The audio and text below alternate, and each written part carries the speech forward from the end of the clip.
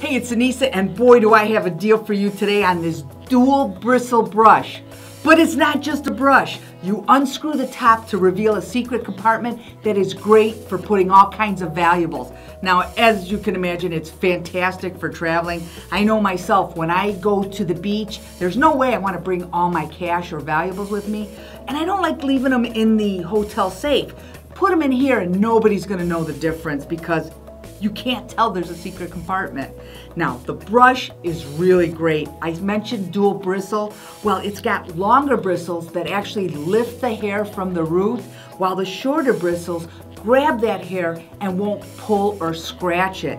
So it's a wonderful brush just to use on its own. Now, it's not just for valuables. You can use it as a handy storage compartment to put your hair ties and bobby pins. But here's what I'm most excited about our deal. For what you'd pay for just a normal brush, you're getting this two-in-one brush, and I'm telling you, you're gonna love it. Plus, when you buy more, you save more, and it makes a great gift. Head on over to Pulse TV and grab one or two today.